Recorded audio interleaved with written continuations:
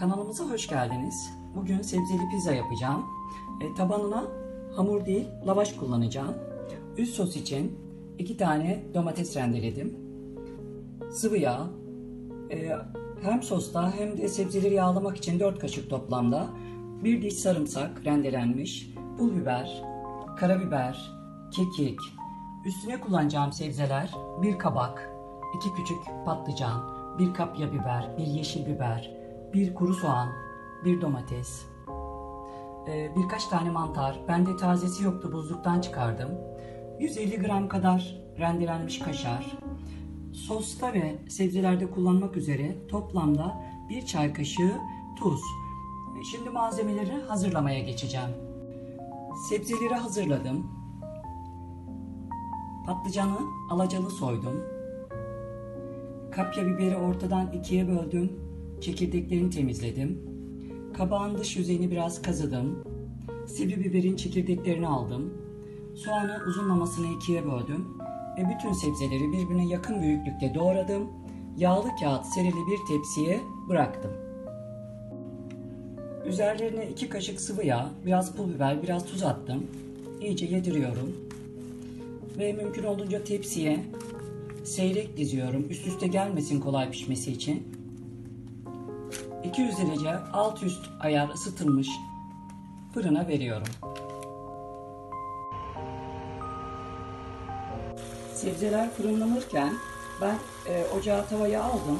İçine kalan 2 kaşık sıvı yağ ekledim, kızdırdım ve domatesleri içine bıraktım.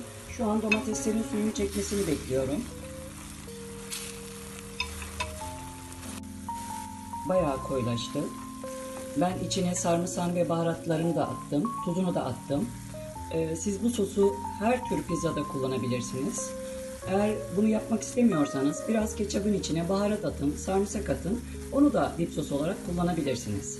Şimdi ben e, altını kapatacağım ve ılımasını bekleyeceğim. Sebzeler 18 dakikada pişti. Bazı fırınlarda bu 15 dakika olur, bazılarında 20 dakika. Siz kontrollü bir şekilde pişirin. Ilımasını bekleyeceğim. 3 tane lavaşım vardı. Ben 3 tane pizza yapmayı düşünüyordum. Ancak e, baktığım lavaşlar çok ince. 1,5 tane pizza yapacağım. 2 kat kullanacağım. E, alt kata, alt e, lavaşa biraz sıvı yağ sürdüm. Siz isterseniz zeytinyağı sürün. Kekik serptim, pul biber serptim. Biraz da yapışmasını sağlamak için kaşar rendesi attım. Üzerine diğer katı bıraktım. Ee, aynı işlemi yarım tane lavaş içinde uygulayacağım. Biraz sos döküyorum. Tabana. Ve yayıyorum.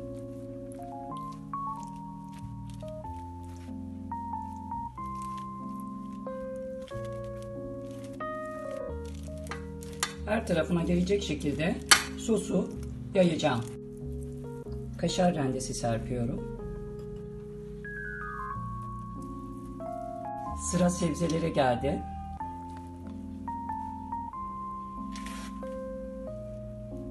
Bütün sebzelerimi kullanabileceğim. Biraz mantar ve üzerine birkaç dilim domates.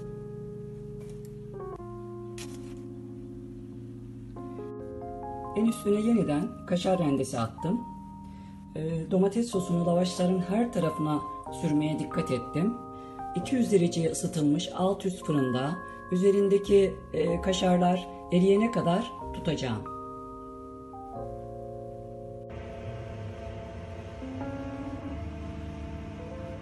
...12 dakikada e, kaşarlar eridi. İki lavaş birbirine yapışmış kokusu muhteşem. Sarımsak ve domatesin bir araya gelmesi e, ve kaşarla taşlanması çok güzel kokuyor.